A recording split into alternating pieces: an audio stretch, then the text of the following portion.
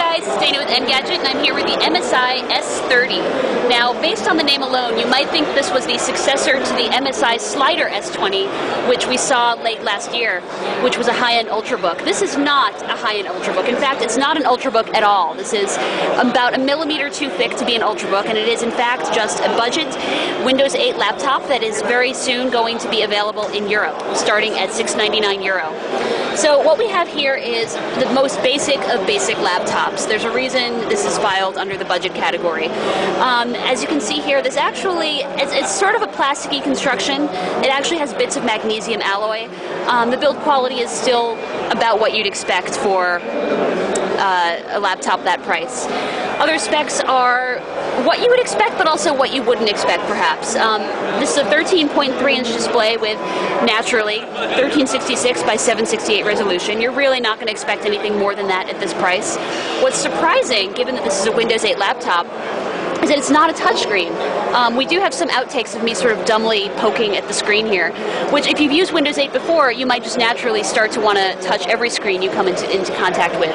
This is not a touchscreen, so for any touch input, you're going to have to either buy an external touchpad, um, Logitech makes one like that, or you're going to have to use the trackpad here, which allows you to make all the typical Windows 8 gestures um, like exposing the charms bar by swiping in from the right over there. As you can see, it's fairly responsive, so you at least have that, but it would have been nice for it to be a touchscreen.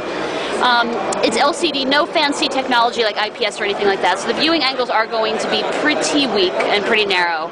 You're going to see the color balance wash out a bit as you dip it forward and back, so you're really going to have to fiddle with the angle before you start working or before you settle in to watch Netflix. The good news is that because it's a little bit thick um, to be considered an ultrabook, it's 24 millimeters thick, excuse me, 23 millimeters thick. Um, there's room for a slightly thicker keyboard, meaning the keys have a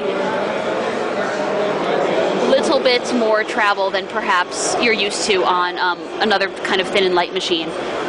Taking a tour around the ports here, and I want to just give you a heads up that this is not a final unit. Um, so if you see this gaping hole in the back, uh, just never mind the gaping hole in the back.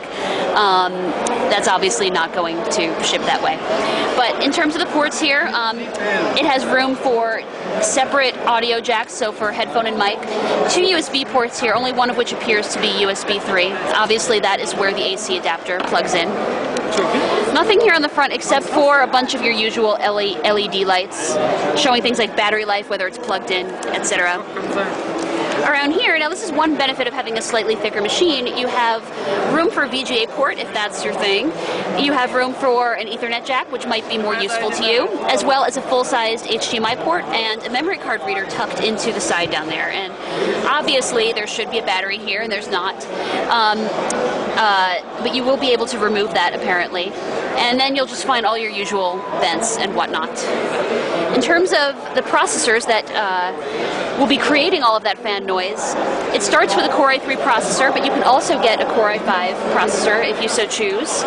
It has 4 gigs of RAM, and you'll have different hard drive options, with the max hard drive option not being a full grade SSD. Remember that this is not an Ultrabook or a high end machine, but at its best, you can pair, say, a 500 gig hard drive with um, a, a, small SSD for caching, so for faster boot ups and faster application launch times and things like that.